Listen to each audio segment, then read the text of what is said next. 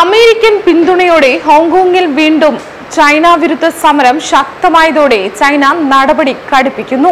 American യുദ്ധക്കപ്പലുകൾ ഹോങ്കോങ്ങിൽ കയറുന്നതിന് ഉപരോധം ഏർപ്പെടുത്താനുള്ള നീക്കത്തിനു പിന്നാലെ യു എസ് നയതന്ത്ര ഉദ്യോഗസ്ഥർക്കും ജനപ്രതിനിധികൾക്കും വിസ നിയന്ത്രണം ഏർപ്പെടുത്താനും ചൈന ഒരുങ്ങുകയാണ്. ഹോങ്കോങ്ങിലെ ജനാധിപത്യ പ്രക്ഷോഭകരെ പിന്തുണയ്ക്കുന്ന നിയമം U S president Donald Trump പാസാക്കിയതിനെ തുടർന്നാണ് യു എസിന്റെ യുദ്ധക്കപ്പലുകൾക്ക് ഹോങ്കോങ്ങിൽ ഉപരോധം ഏർപ്പെടുത്തി ചൈന ഉത്തരവിറക്കിയത്.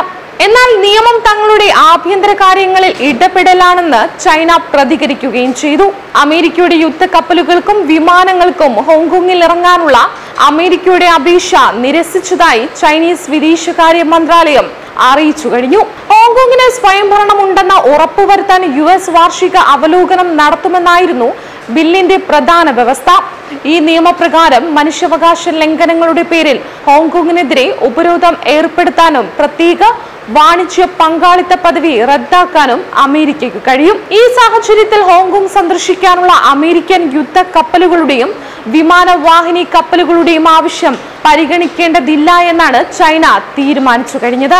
അതേസമയം ഹോങ്കോങ്ങിലെ വിഷയങ്ങളിൽ തെറ്റായി ഇടപെടുന്ന എൻ ജി ഒകൾക്ക് ഉപരോധം ഏർപ്പെടുത്തിയതായും വിദേശകാര്യ വക്താവ് ഹുവാ ചുയിങ് വാർത്താ സമ്മേളനത്തിൽ അറിയിച്ചു കഴിഞ്ഞു. National endowment for democracy human rights watch freedom house തുടങ്ങിയ നിരവധി സംഘടനകൾക്കാണ് ഇത്തരത്തിൽ ഉപരോധം ഏർപ്പെടുത്തിയത്. അതോടൊപ്പം ആയിരക്കണക്കിന് ഉയിഗർ മുസ്ലിങ്ങളെ തടവിൽ പാർപ്പിച്ചിരിക്കുന്ന പടിഞ്ഞാറൻ മേഖലയായ സിൻജിയാങ്ങിൽ പ്രവേശിക്കുന്നതിൽ നിന്ന് അമേരിക്കൻ നയതന്ത്ര പാസ്പോർട്ട് ഉള്ളവർക്കും ചൈന വിലക്കേർപ്പെടുത്തും.